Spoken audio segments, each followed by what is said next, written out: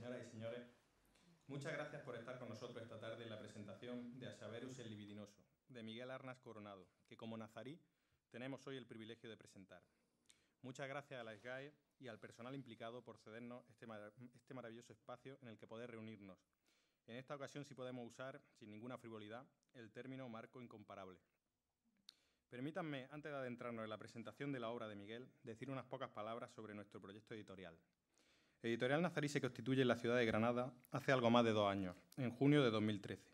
A lo largo de estos meses hemos intentado dar cuerpo a una ilusión, la de convertirnos en llaves para otro mundo, en puerta de entrada para el lector hacia el multiforme universo de la literatura, dando cabida, dentro de nuestras nueve colecciones, a novelas negras, históricas y existenciales, a poemarios eróticos, generalistas y simbolistas, a cuentos y microrelatos fantásticos y metaliterarios, tanto de autores ya conocidos como de escritores que por primera vez entran en el circuito editorial español. El que nos ha traído hoy aquí representa el título 35 de nuestro catálogo. Lo editamos en diciembre del pasado año, aunque no hemos podido presentarlo aquí hasta ahora. Tras casi un año más, nuestro catálogo cuenta ya con 58 títulos. Conseguir editar 58 libros en poco más de dos años de actividad no ha sido nada fácil, como pueden ustedes imaginar. Aun sabiendo o intuyendo desde el comienzo la enorme dificultad de vender libros en el marco de una sociedad capitalista en plena crisis estructural, me resulta imposible contar y explicar la cantidad y gravedad de las dificultades logísticas, organizativas y económicas a las que hemos tenido que hacer frente en este tiempo. Dificultades que se ven recompensadas por la consideración y la atención que cada nueva edición nazarilla despierta en los lectores y en los profesionales del sector, dando a nuestra editorial nueva linfa y nuevo impulso para seguir avanzando, mejorando y creciendo.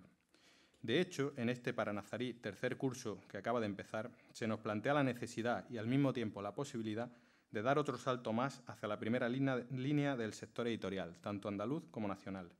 Muchos son los cambios que estamos aportando a nuestra actividad para que esto se convierta en realidad lo antes posible. Y les puedo asegurar que muchas sorpresas se están preparando para los próximos meses. Todo lo que les acabo de contar ha sido posible gracias a todas las autoras y todos los autores que han depositado su confianza en nosotros, dejándonos el honor y el gravamen de poder trabajar en la edición de su obra. Por eso para mí supone una satisfacción enorme estar ahora sentado al lado de Miguel, presentando su criatura. Es un orgullo para nosotros, como les decía, tener esta obra en nuestro catálogo, una novela total, que se desarrolla a través de dos narraciones que irán entrelazándose, abarcando dos distintas épocas históricas. Una novela que nos habla a través de los tremendos 20 años que apabullaron a Europa desde el ascenso de los nazis al poder hasta el fin de la Segunda Guerra Mundial, y a través de los tremendos años, los del siglo XIV y XV, en los cuales ser judío en España no suponía nada bueno. Nos habla de muchas más cosas, entre otras de la búsqueda del mal y de una necesaria armonía vital, de la búsqueda de una identidad perdida o nunca conocida, de la dimensión personal, familiar y social que puede cambiar diametralmente a una persona y a su estar en este mundo, de la responsabilidad de cada uno hacia sus propias acciones y consecuencias. Y claro está, eso es posible solo gracias a la maestría de Miguel a la hora de escribir y de organizar el material narrativo que va manejando, maestría que consigue que el lector goce literariamente de la forma y del contenido de la novela, tanto como ha gozado el autor, como él mismo nos dice, en plasmarla. Muchísimas gracias.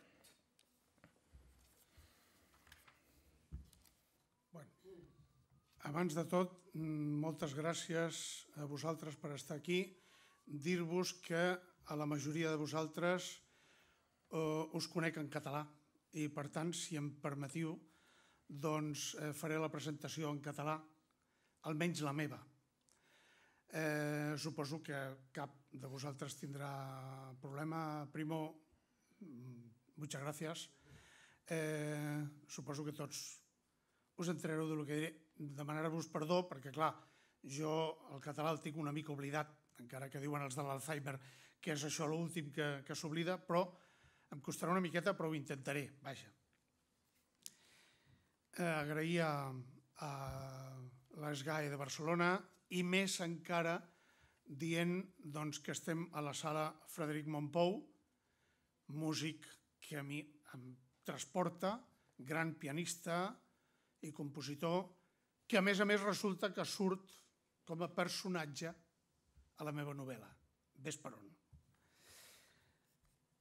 Eh, gràcies a tots vosaltres per estar aquí a l'editorial per presentar-me i tenir la osadia de publicar-me I bueno, ara vull que us oblideu que sóc en Miquel i penseu que soy andaluz, que nací en Churriana de la Vega, churriané, como se dice allí, que soy rubio, 20 años más joven, y eh, soy el mejor microrelatista de España. Y me llamo Ángel Olgoso, íntimo amigo de Miguel Arnás y que no solo por eso hablo bien de él. Voy a hacer la presentación, voy a leer la presentación que hice como Ángel Olgoso para el libro de Miguel Arnas en la primera presentación que hizo en Granada.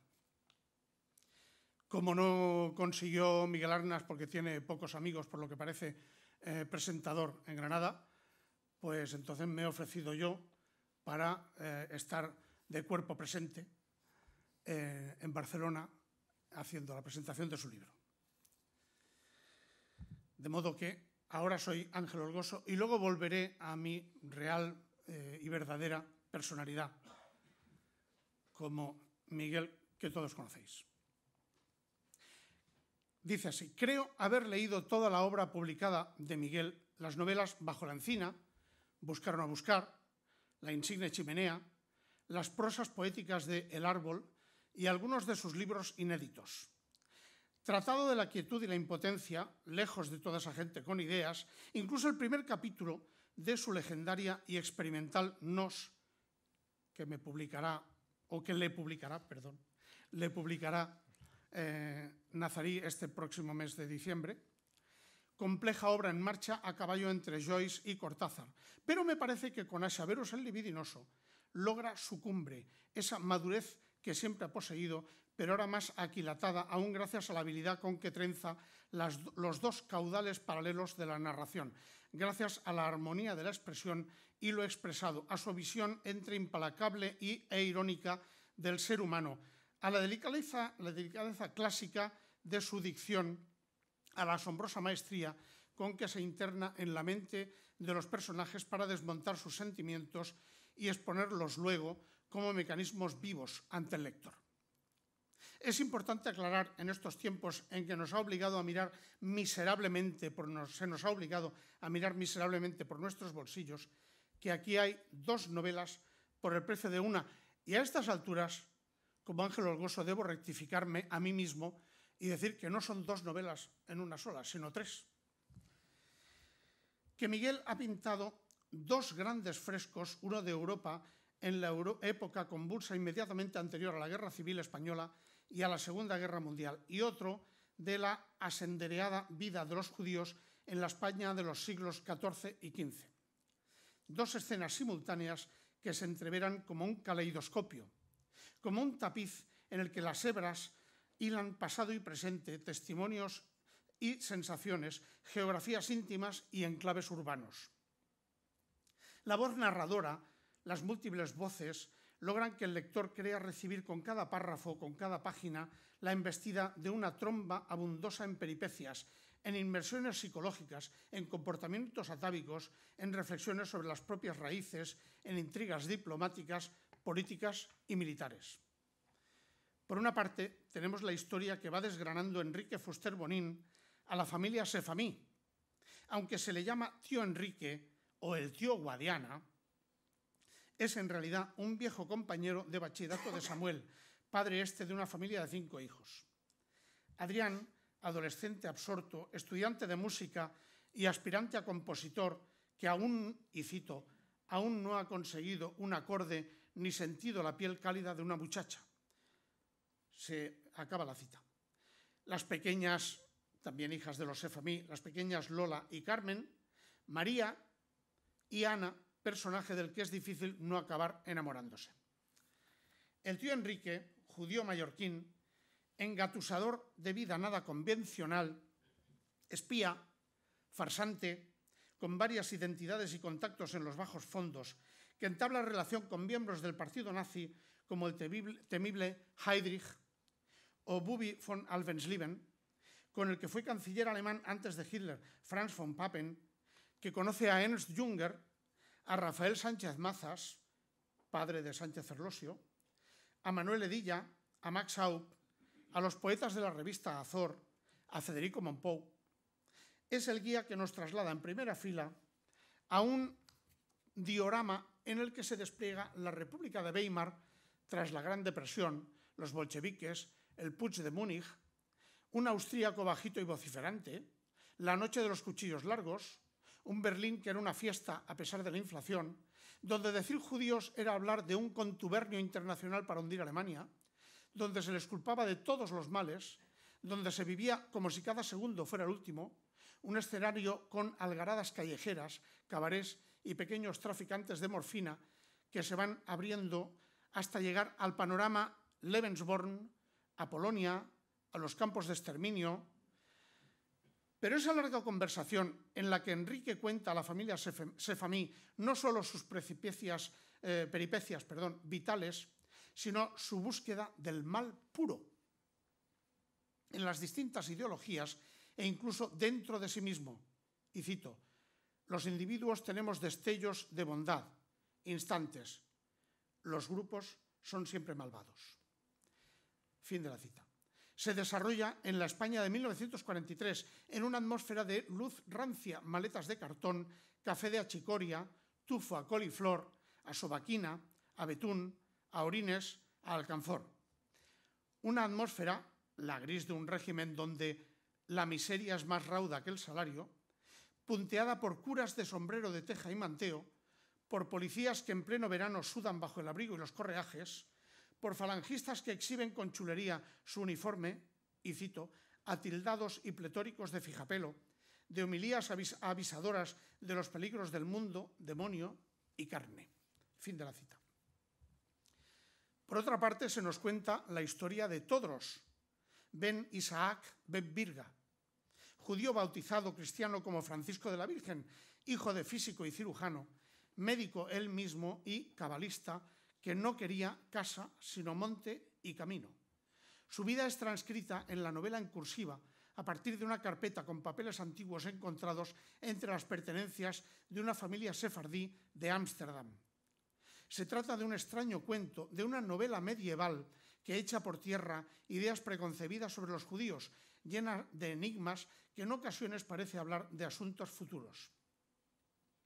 Mientras Todros anda por los caminos, predica, ejerce la cirugía a los cristianos que lo requieren y yace con todas las mujeres que se le ponen a tiro en las aljamas, encantadas ellas de escuchar y catar a aquel rabino y haciendo extender su fama, transmite, impostor como Enrique Fuster Bonín, las enseñanzas de un libro ficticio y herético atribuido al rabí inventado Shlomo a Tzadik, que trata asuntos escandalosos hasta para los propios judíos, como la idea de que el adulterio es bueno incluso para las mujeres. Estos interludios hebreos que el personaje de Ana va leyendo junto con el lector están llenos de riquísimos detalles y de jugosos vocablos de la época, iluminados con colorido y sensualidad sin par, con chanzas y coyundas, con olores, olores y visiones, toda una fuente de albricia para los osados en erudiciones. Miguel mismo debe ser ensalzado setenta veces siete por su proverbial inmersión en el pensamiento judío, en la Cábala, la Torá, el Soar, los Midrashim, el libro de la claridad, o sea, el Bahir, el Talmud, el Sefer Yetzirah, el Simsum, o sea, el encogimiento divino para que cupiera el mundo, los 22 caminos unitivos de los 10 sefirot del árbol de la vida y hasta en los 613 preceptos. No parece sino que Miguel ha practicado el hitbodedut o concentración y alcanzado el devekut o unión con Dios aunque el tema que apasiona a Miguel y a su personaje, Todros, es el de la Shejina, esposa de Yahvé, quien por lo visto se animará a ayuntarse con Dios cada vez que un hombre y una mujer se satisfacen mutuamente, pues una coyunda satisfactoria de los amantes proporciona gran alegría al universo. No puedo dejar de señalar que la preocupación innata en Miguel por cuestionar el punto de vista del narrador también comparece en la novela que hoy se presenta. Aquí la incursión metaliteraria se alía con la música para hablar, y cito, de cómo compaginar dos temas armónicos de forma que se puedan interpretar al unísono como si se persiguieran. Dos temas que son esbozados contando no solo la vida de Enrique, sino aquel hallazgo holandés, porque las vidas eh, humanas no son únicamente los eventos que a cada uno le ocurren, sino lo que suceden a cuantos les rodean e influyen, inciden, se reflejan como en un espejo deformante, se duplican en la vida de ese que inventamos como protagonista. Fin de la cita. Al decir inicio la cita y fin de la cita, estoy citando al tal Miguel Arnas, que aquí se presenta indebidamente y con muy poca vergüenza. Pero no tan solo los episodios novelescos que se multiplican. El tema que muta en variaciones, la recreación de época, la ironía, el uso del tiempo a la minuciosa cartografía de la conciencia de los personajes, lo que enriquece el libro y deleita al lector. También lo hace sobremanera la admirable, creatividad lingüística de Miguel, el deslumbre fraseo que se mueve entre lo cristalino. Cito. El intento de concentración había volado como las palomas de la Plaza Cataluña volaban ante el correteo ofensivo de los niños. Fin de la cita. Y un conceptismo digno de Quevedo. Cito. En la villa se había destapado como Ribaldo, furrufián de damas, ladrón de poco y mandadera de aquellos encargos que ningún hombre honesto haría. Fin de la cita. Incluso en ocasiones nos encontramos, o al menos con especial alborozo, con el contrapunto fantástico de extrañas visiones de pájaros que insultan al que los apedrea, de pozos que hablan para lanzar augurios, del mismísimo Freud apareciéndose a todos, Freud siglo XX, todos siglo XV, bajo la figura del mago Sigmund, que lo lleva a sobrevolar el futuro, de sueños con arcángeles, de pesadillas, de un demonio muy peculiar.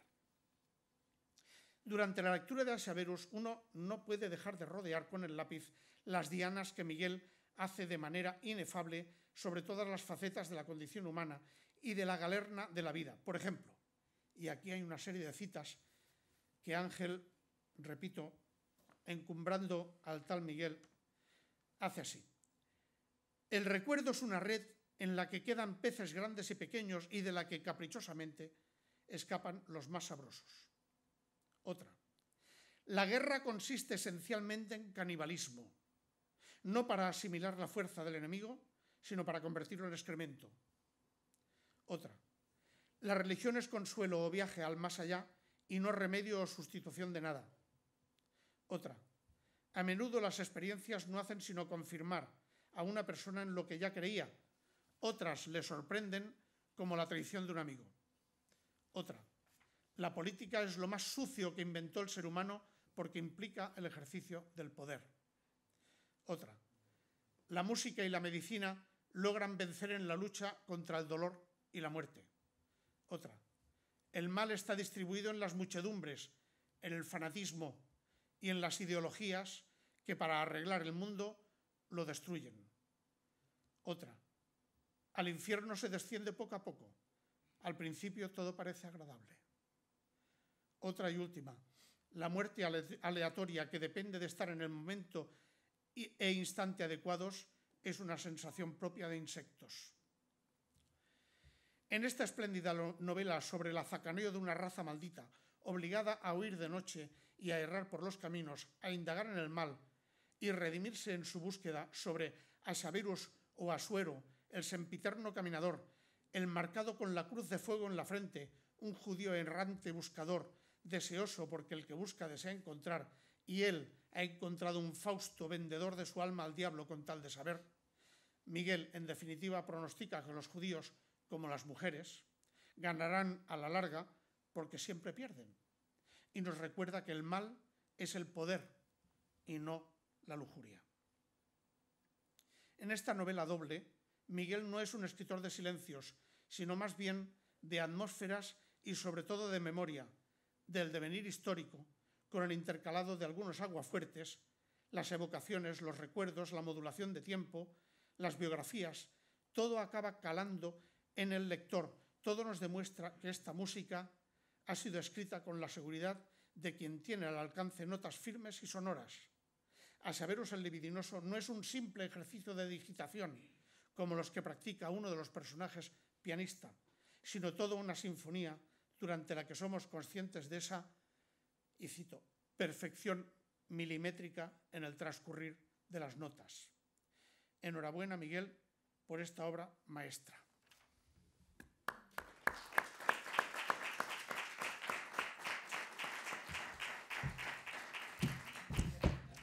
Ja sóc aquí.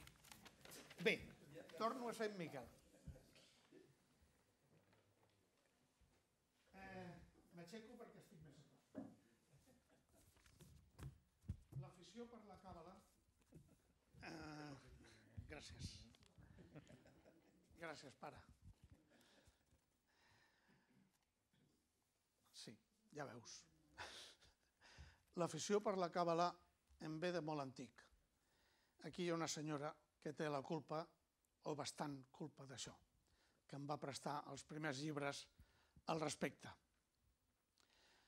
Eh, vaig començar a llegir tot això de la càbala doncs, des de fa molts anys, de la mateixa manera que vaig començar a escriure també des de fa molts anys, i aquí també hi ha alguns companys que se'n recorden de quan jo feia aquelles borrades que escrivia en el paper que hi havia ja a la fàbrica i que ara doncs, quasi bé he perdut.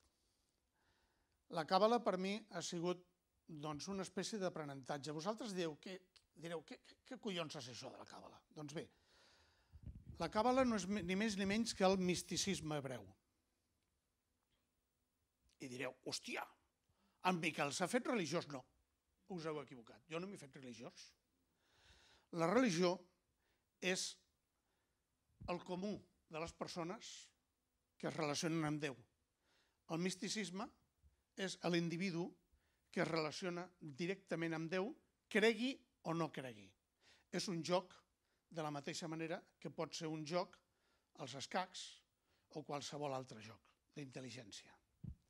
Per mi, la càbala és això, per un altre serà una altra cosa. Després de llegir, tant, de llegir tantíssim sobre la càbala i els, els autors, com cito al principi de, del llibre, doncs, els, meus, els meus mestres en aquest sentit, que han sigut Gershom Cholem i Moshe Idel principalment, i a Espanya, o en espanyol més ben dit, Mario Sats.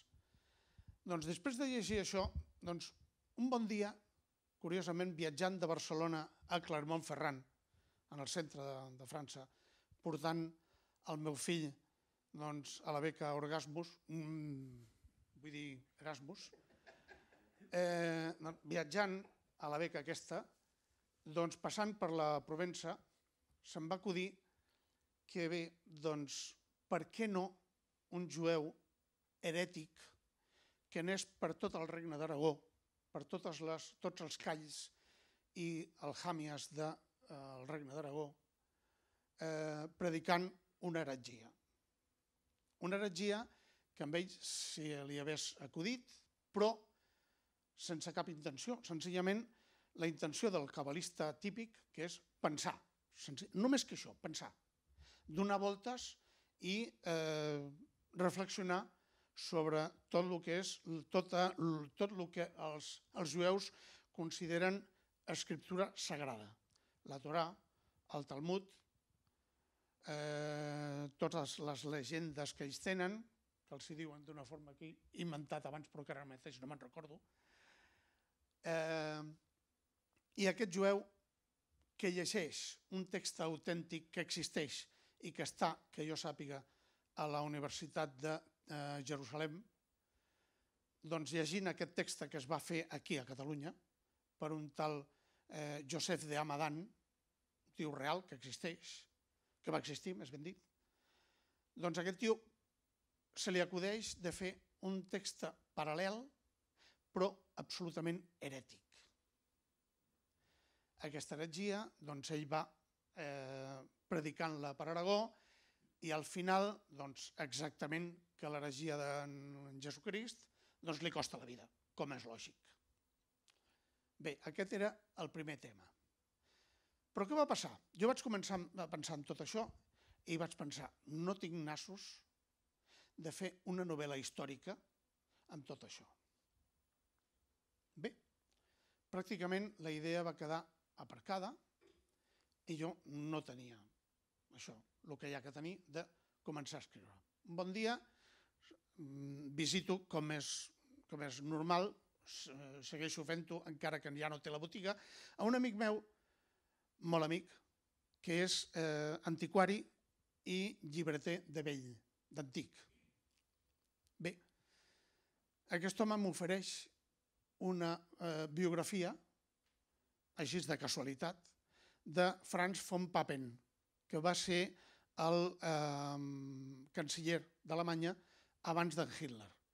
De fet, va ser ell el que va proposar en Hitler perquè és que no hi havia alternativa. Era l'única possibilitat per majoria, per majoria democràtica, eh, de collons, eh, que, que es podia proposar. Total, de la mateixa manera que m'ofereix la biografia d'en eh, von Papen, que a mi em va fer gràcia perquè el meu pare em parlava d'aquest von Papen, doncs m'ofereix la biografia del que va ser segon jefe nacional de Falange d'Espanya. I diré, hòstia, hòstia, el Miquel, tu, vés amb compte amb ell, que treu el correatge i la pistola i no. Resulta que també el meu pare em parlava del Manuel Edilla, que curiosament va ser condemnat a mort per en Franco. Clar, em va temptar. Jo vaig començar a llegir aquestes dues biografies i llavors vaig tenir clar què tenia que fer amb la novel·la històrica que no tenia jo nassos de fer. I el plan era senzillament fer la història d'un jueu català d'origen jueta, d'origen mallorquí, que viu a Barcelona, tota la seva família des de fa molts anys fan negocis a Barcelona i que eh, el tio aquest, a l'any 24, decideix anar-se a Alemanya perquè sospita que potser allà s'està cuint alguna cosa. No sap què, però s'està cuint alguna. Llavors, amb l'excusa d'ampliar estudis, se'n va. Eh, en principi, la idea és anar-se a estudiar a la Universitat de Jena, mentida, acaba en Weimar i ja a l'any 24 decideix que no, ell se'n va a Berlín. Se'n va a Berlín i comença ja, com és típic dels jueus, a fer negocis. Quins negocis? Molt senzill. Ven morfina en un cabaret i, a més a més, doncs es fa eh, xuloputes. O sigui, es fa macarra d'unes quantes noies que hi ha allà treballant. Allà coneix una senyora que eh, acudeix allà amb el marit, no tenen fills, la senyora està traumada perquè no tenen fills i la senyora és del partit nazi un partit nazi que doncs, l'any 27, 28, 29 ja tenia força, però encara no era el que, el que s'esperava. 25, potser. Llavors, un bon dia aquesta senyora se l'emporta al, al lavabo i passa el que tiene que passar. La deixa prenyada, el tio acollonit pensa, hòstia, ara d'aquesta tia, que és alemanya pura, naixerà un nen amb ulleres, un Nastal així, oi? Baixet, un Woody Allen, vaja, ni més ni menys. I s'escapa d'Alemanya. Quan té nassos de tornar es troben que el nano, no, és ros, gran, fort i, en fi, és ario puro. Comença a deixar prenyada diverses vegades aquesta dona i eh, l'anomenen aquesta dona una de les Materkreuz, les llamaven, és que no me'n recordo com, com les... Eh, aquí tinc el nom, en la novel·la surt, però jo l'alemany no el parlo. Eh, de les madres, eh, les mares eh, exemplars dels, dels nazis, dels, de los arios, oi? Bé,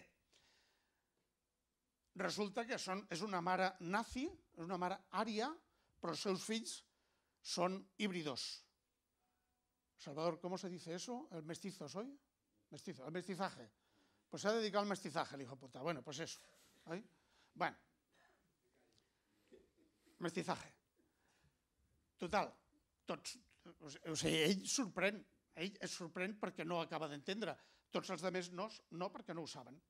Però aquesta dona la introdueix, la introdueix amb els... Em perdonareu el meu català, però és que ho tinc molt oblidat.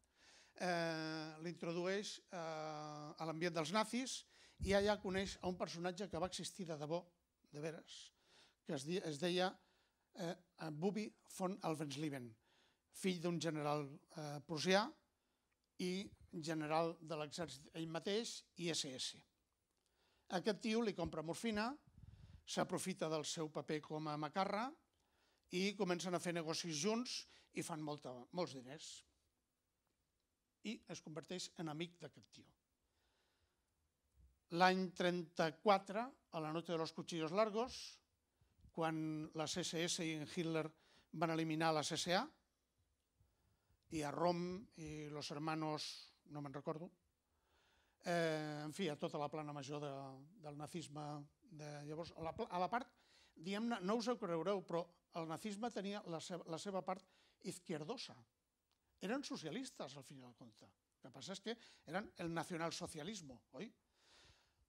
A tota la plana major izquierdosa del, del nazisme se'ls carreguen.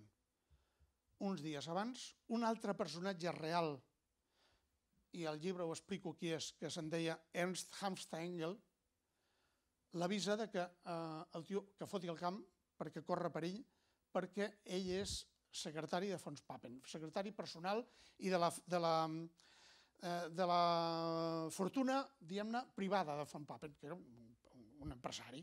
Oi?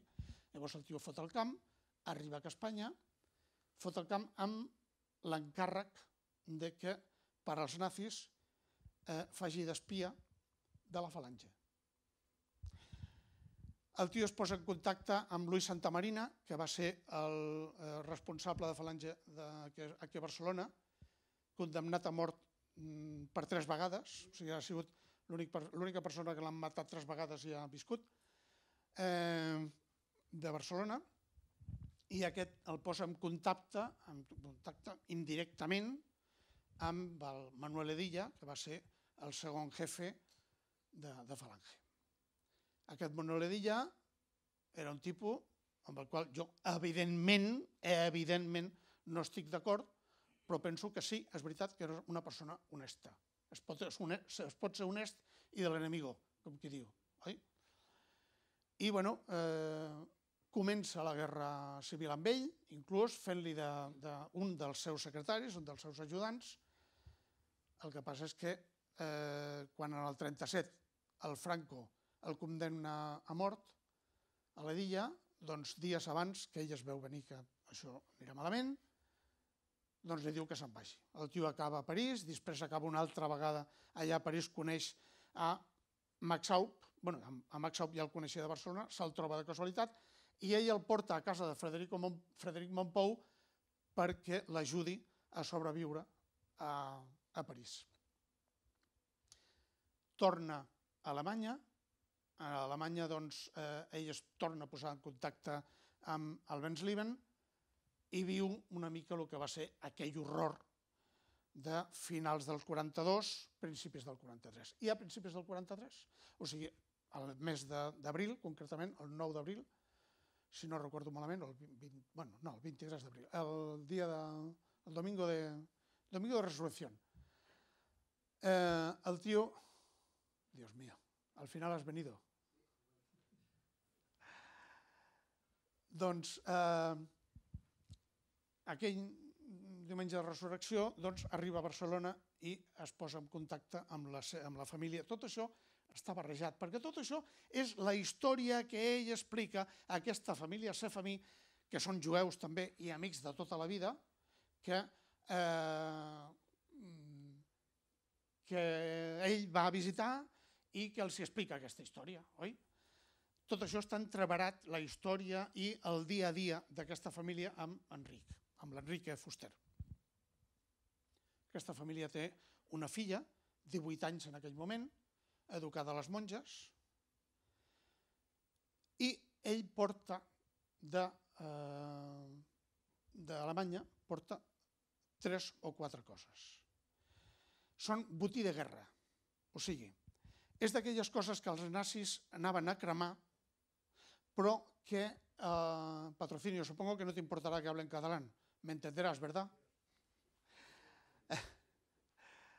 Eh, és el, el, el botí de guerra que els nazis anaven a cremar, però que eh, ell diu, bueno, doncs, si ho aneu a cremar, doncs per mi. Porta un Kandinsky, segons l'autor de la novel·la, que no sé qui va ser, eh, es pot veure en el, com és, el, MOCMA o MOCMA d'aquí de Barcelona? El MACBA. Eh, això. doncs el MACBA es pot, es pot trobar al, al Kandinsky aquest. Porta també doncs, eh, unes partitures d'un jueu que va morir a un camp de concentració, Erwin eh, Schlondorf, no, Erwin Schulhoff, Schulhoff, que se les dona al fill que té 19 anys, que és pianista, i que estudia amb Frederic Montpou, i porta el manuscrit amb la història del eh, jueu aquest del, cicle, del segle XV, que va pregonant per les aljames i, i calls de, del regne d'Aragó. O sigui, no és més ni més ni menys que la vella història tan recorrida, tan recorreguda a la, a, la, a la literatura, que és el manuscrito encontrado, com el manuscrito encontrado en Zaragoza o qualsevol altre. Que jo entrevero. Total, la filla, la, la noia aquesta, el llegeix, per dir-ho d'alguna manera suau, li agafen unes ganes que te cagues, s'enamora del, eh, de l'home aquest, que ell té 50 anys, no, a l'any 43 ell té 42 anys, això mateix, mentre ella té 18, s'enamora, llavors era molt típic, ara també, però està més reprimit. Eh, s'enamora perdidament d'ell i eh, s'acaben casant. Què vull dir amb això dintre la novel·la? Ell viu el mal, el mal perfecte, durant quasi bé tota la seva vida, tant quan està a Alemanya, al principi, la persecució dels jueus, al principi suau, tant amb la falange com després a Alemanya quan comença a veure totes les coses que estan passant allà durant la guerra i l'eliminació dels jueus, al principi eren els Einsatzgruppen, que eren els que anaven per als pobles i els fotien dintre una zanja i els ametrallaven, com a les repressions als pobles, etc etc. De sobte arriba aquí a Barcelona i es troba amb el bé, per contraposició al mal, el bé perfecte, que és l'amor amb, aquesta, amb aquesta noia. He de confessar que ara mateix estic escrivint la continuació d'aquest llibre, porto 110 pàgines, aquest matrimoni ja doncs, porten, ell té 74, 75 anys, quasi bé, els ha complert ja, ella té 50, han tingut dues filles i ell decideix tornar a Barcelona a veure la transició, a veure què collons és això de la transició. Per curiositat, com ha tingut sempre, que ha sigut el que li ha perdut tota la vida, que és la curiositat. Vàries coses. En primer lloc, jo no sóc l'Enrique Fuster Bonin. O sigui, jo no surto en aquesta novel·la. Jo no estic. Jo, bueno, no sóc ni el narrador, perquè el narrador és Enrique Fuster Bonin. Hi ha una espècie de narrador omniscient, en certa manera. No del tot. Eh, jo he sentit, por ahí, he sentit interpretacions d'aquesta novel·la, uns han dit que sembla el Juego de la Oca, perquè sembla que el personatge va de, doncs de, de la, de, del pozo a la presó i de la presó a la càrcel i de la, de la càrcel, com com és un altre de la Oca, doncs això, va saltant. Uns altres han dit que és la, la novel·la total. Jo això sí que ho dubto. Això no, no m'acaba de convèncer. Algun altre ha dit que era jo què sé, no us he dit, no us ho sé dir. Jo sé que l'he fet, que he disfrutat molt fent-la, que espero que vosaltres disfruteu també eh, llegint-la, oi? I, bueno, dir també, que no se m'oblidi, No sempre escric la mateixa novel·la, o sigui, a mi m'avorriria moltíssim això d'escriure sempre sobre el mateix tema. Tinc novel·les sobre molts temes diferents, segons m'agafa el cos. Eh, si tinc aquesta novel·la, tinc una altra que és la que es publicarà ara mateix al desembre, espero, amb el permís de l'editor, que es, diu, es dirà Nos, va ser una novel·la que em van becar al Ministeri de Cultura a l'any 87. Això del Ministeri de Cultura era com la màfia, us a dir. És a dir, o sigui, et, et, et donaven la meitat dels diners, te'ls donaven perquè acabessis la novel·la. I quan ja l'havies matat, llavors et donaven l'altra meitat. I això és el que em van fer a mi. El que passa és que també subvencionaven a l'editor, la novel·la es va quedar sense edició i eh, al final, quan un editor o dos editors s'han decidit a publicar-la, va resulta que el Ministeri diu eh, no estamos, no, no, això, això ha caducat, això no, no volem saber res. Què hi farem? Però sortirà ara a desembre i el tema de la novel·la doncs, és la transició i Barcelona. La transició és, és veritat que és el meu tema, però és una escola que és justament doncs, l'escola que vam viure a Barcelona. El que passa és que bueno, jo m'he inventat pràcticament tot. Alguns dels que vareu viure allò, doncs segurament identificareu. Aquest és fulano. Però uns altres direu, aquest qui, qui collons és? Si, si jo no el conec. Quan llegiu el Simeón direu, el Simeón no, el Simeón no, no va existir. Tinc aquesta novel·la, Eh, el Buscar o no buscar és la història, que és la que em van premiar a Guadalajara, és la història d'un terrorista que està amagat.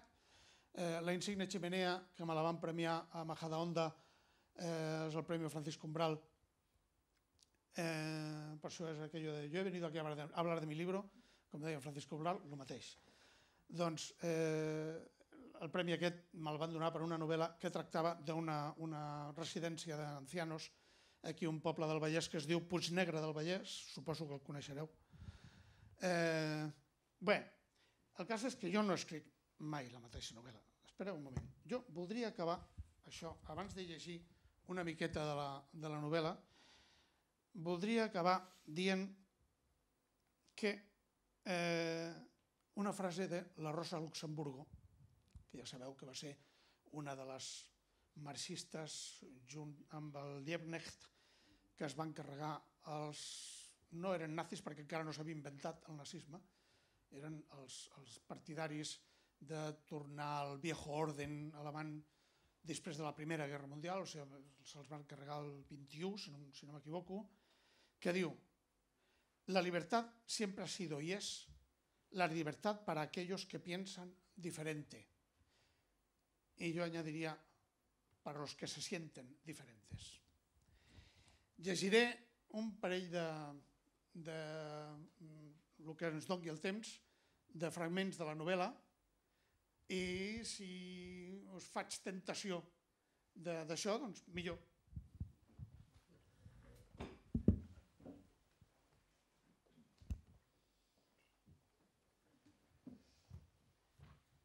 Aquest és el primer capítol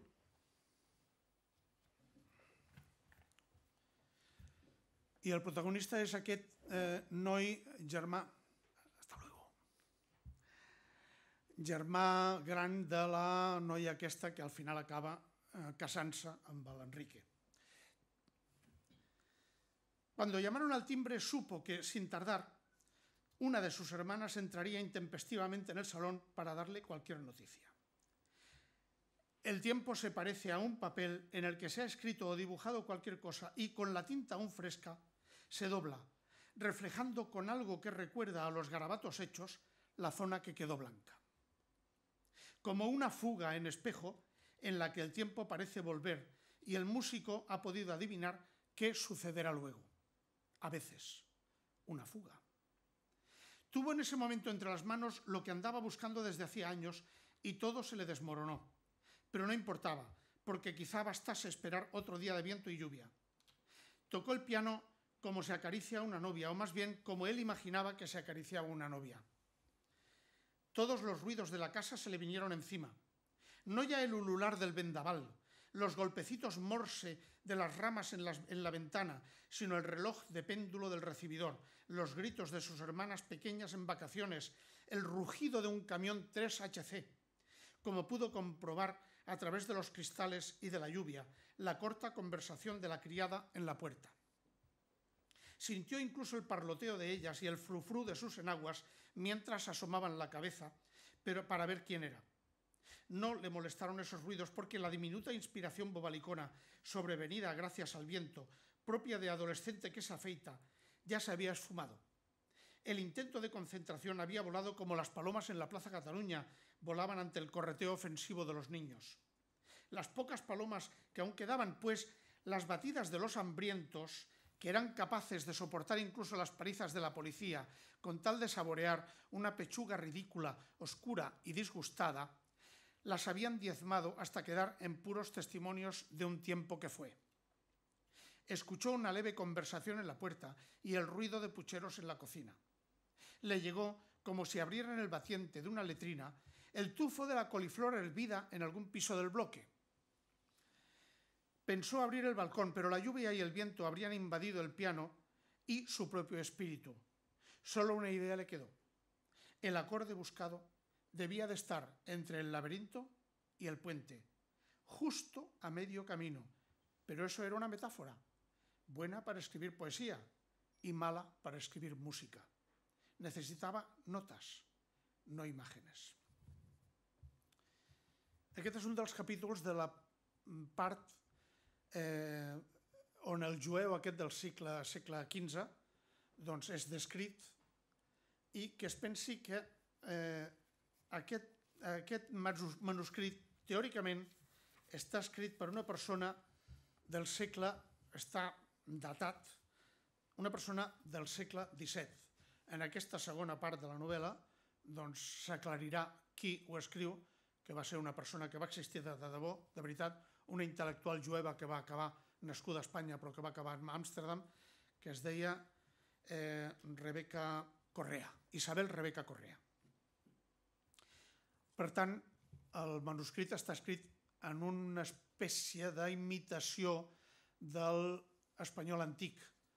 No el vaig escriure en l'espanyol de l'època, per la senzilla raó de que ni jo hagués sigut capaç ni eh, els lectors haguessin tingut paciència per llegir-ho, però hi vaig intentar que s'apropés. Les complació el paisaje de Alcañiz, pero el recibimiento no fue bueno y continuaron camino. En Ijar les fue ofrecido para aquella primera noche un pajar en donde pudieron reponer eh, fuerzas y quitarse el frío que ya empezaba a levantar celliscas por aquellos cerros dejados atrás. Era Ijar villa situada entre repechos y arboledas, grata y pingüe, hospitalaria, con una aljama de judíos y otra de moros.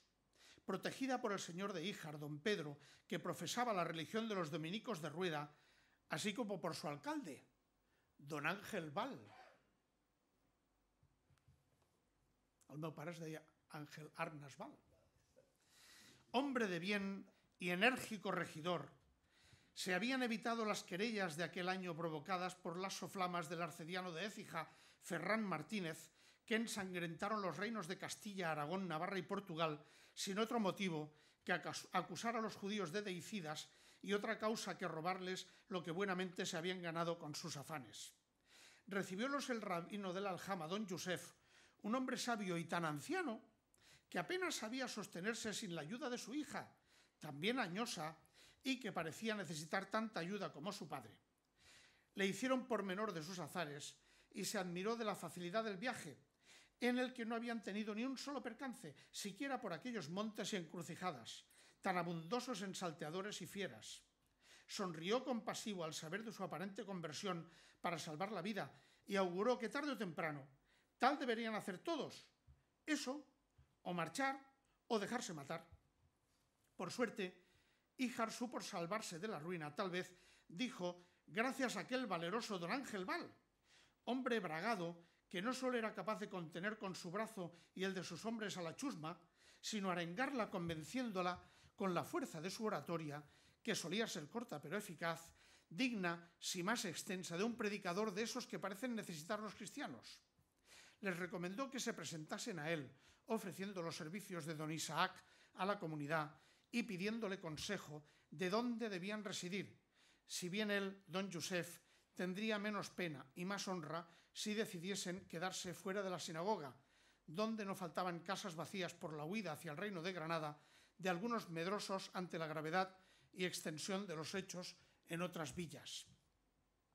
La veritat és que els jueus es van dedicar durant segles a anar d'un lloc a l'altre en tota Espanya. Un dels llibres que em va aconseguir aquest Ignacio Martín Villena, amic meu i librero d'antic, va ser una història social i econòmica de los judíos del reino de Aragón i Granada, d'un tal Amador de los Ríos, que és un, un pou de ciència, i aquí ho explica, en aquest llibre ho explica molt bé. Quan se sentien malament amb els almogàvers o els moros, es trasladaven a Castella.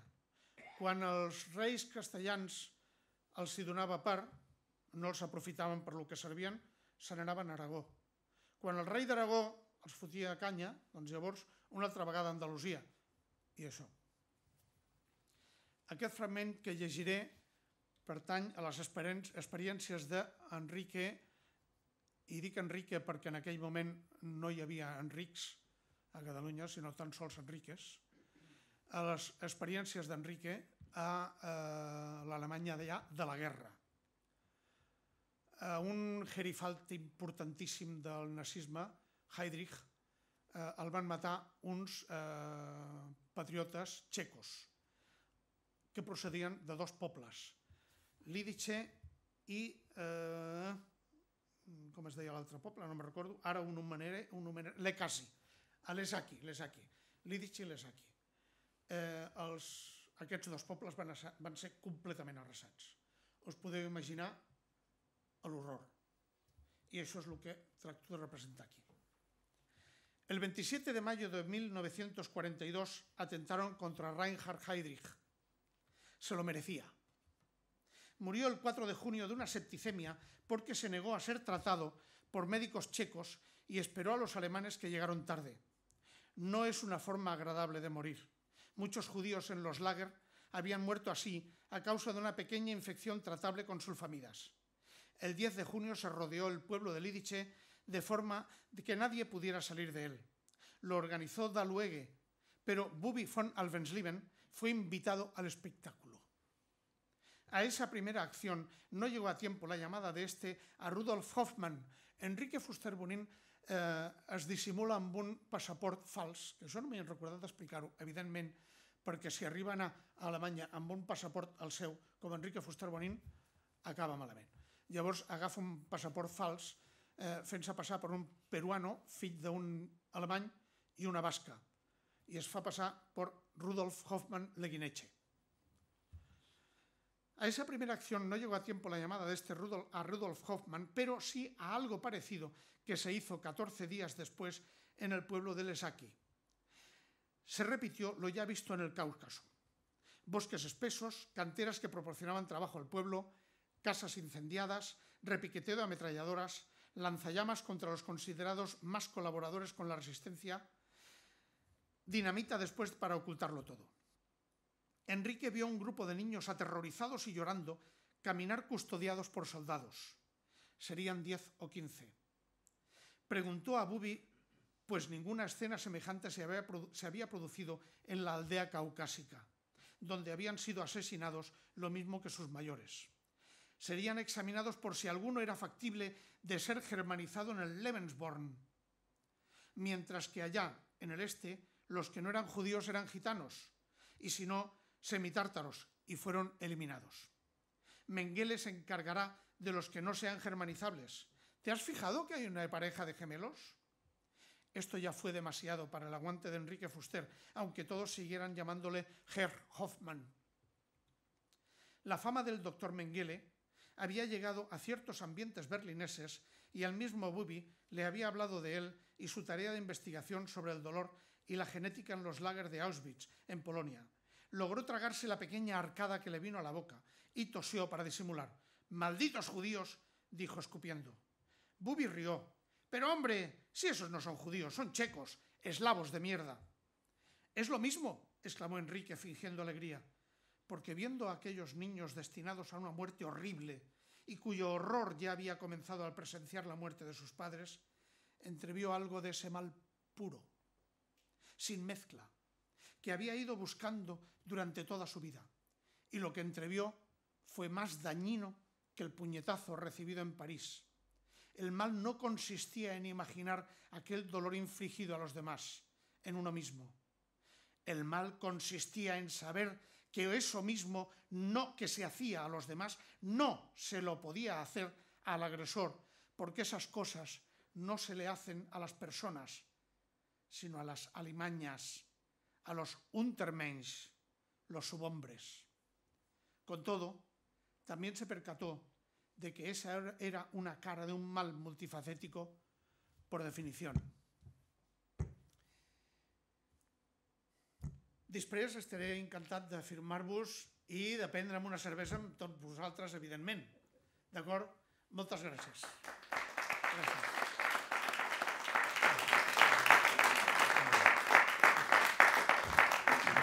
I ara, si voleu fer alguna pregunta o el que sigui, doncs us pica la curiositat, qualsevol cosa, estaré molt gustós de, de contestar.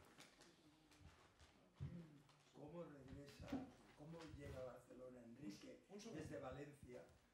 Y has dicho desde...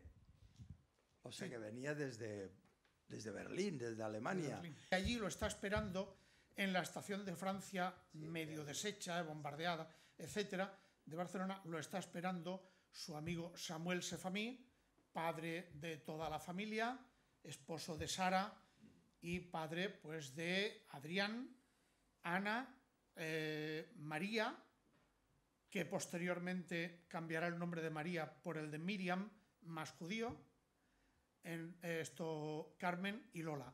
Todos nombres cristianos, porque en España no había ningún problema con los judíos siempre, caso, siempre y cuando acudieran a misa diaria. Las cosas como son. O sea, eh, el Franco no tuvo ningún problema, porque además parece ser, según dice Paul Preston, que a Franco alguien le dijo, oye, los judíos tienen mucho poder, poder. Y dijo, joder, pues si tienen poder, míos, ya está, no hay ningún problema. Yo con ellos me voy a llevar bien para que me den dineros, ya está. Y entonces los protegió. Pero no por nada, sino por eso. Eso sí, todos los domingos la hoja dominical. No hay hoja dominical, te va a enterar. Tenía que enseñar la hoja. Claro, había que O la- enseñarla. O el color de la casulla. Eh, exacto. O decir el color de la casulla. Que había con- ah, bastaba con aprendérselo de memoria, porque eso es cíclico. Muy bien, muy bien. O sea, nadie quiere- Dime, Miguel, primo. Un segundo. ¿Cuándo murió Edilla? Edilla murió en el año 70. Ah, el 70. Sí. Porque has dicho que había sido condenado tres veces a muerte. No, el que fue condenado a muerte tres veces fue Luis Santamarina Ah, vale. y además las, lo salvó de morir, mm, no sé si las tres veces, pero al menos una de ellas seguro, Josep Janés, el de Plaza y Janés y el que fue padre de, de- que fue padre de la actual mejor poeta mujer viva en España, que es Clara Janés, y autor de aquel verso Damunt de tu, només les flors. que Es, ah, escandaloso de guapo el verso, ¿no? Está bien. Ese fue Luis Santamarina y el que lo salvó de la muerte fue Josep Janés. Curiosamente, en el 40 a Josep Janés lo condenó a muerte el tribunal franquista y fue Luis Santamarina el que le salvó la vida a él. Edilla lo condenó a muerte Franco en el 37 acusándolo en una especie de, de opereta, acusándolo de querer atentar, él y tres colegas más, atentar contra Franco en, el- en su cuartel general de Burgos. Cuartel general que estaba guardado por la Guardia Mora. Un montón de, de aguerridos bereberes dispuestos a, a rajar por la mitad a quien sea. Y él y tres colegas tenían que haber entrado en, fin, muy adecuado, o sea, con tres cojones. ¿eh? Claro, sencillamente lo condenó a muerte porque Edilla se negó a ser el nuevo jefe eh, de Falange Española cuando Franco decretó que Fa- Falange y eh, los, tradicionalistas de los requetés se tenían que unir en un solo partido y además cambiarse el color de la gorra. Ya, si lo que fue determinante fue cambiarse el color de la gorra o lo otro, no lo sé, pero Franco lo condenó a muerte. Le conmutaron la pena, fue a Canarias, estuvo en Canarias en condiciones infrahumanas. Los que consiguieron visitarlo decían que estaba peor que los presos rojos, los presos republicanos. Luego estuvo en Mallorca unos cuantos años apartado completamente y por fin en el año 40 y finales del 43 o en el 44, no recuerdo bien, le permitieron afincarse en Barcelona. Y en Barcelona se perdió. O sea, desapareció del mundo político, se negó a colaborar en nada en absoluto, nada de nada, ni siquiera a ver a los antiguos amigos, que algunos lo ayudaron, pero no quiso verlos y murió en su cama en el año 70, pero amargado. ¿En Barcelona? En Barcelona. Vale, gracias. En Bar- Gracias. Perdón, en Barcelona o en Madrid. Ahora me has hecho dudar, primo. Ya no recuerdo bien si murió aquí o murió allí. Pero algo de eso hubo. En el año 70. Gracias.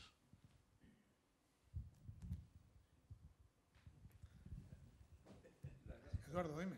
En Nuria hubo un atentado también contra Franco. En En Nuria. Nuria. Sí, bueno, hubo varios, ¿eh? Ya.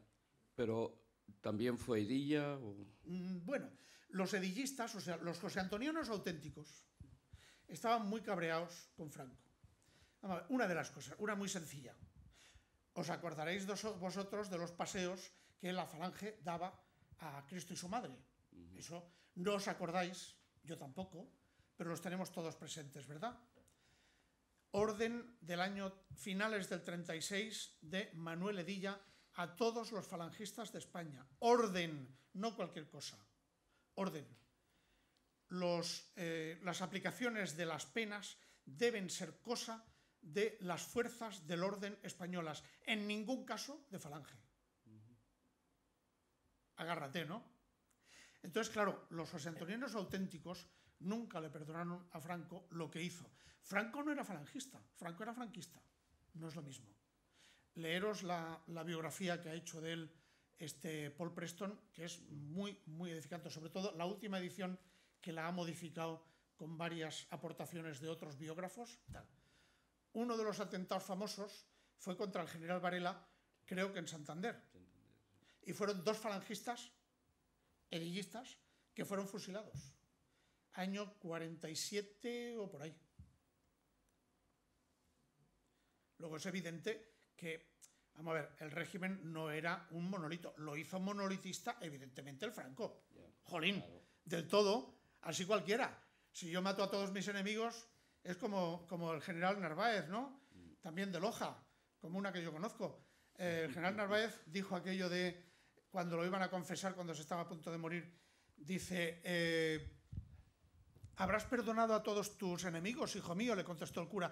Y Narváez contestó, no me ha hecho, no me ha hecho falta, padre, los he matado a todos. Pero el Franco lo mismo.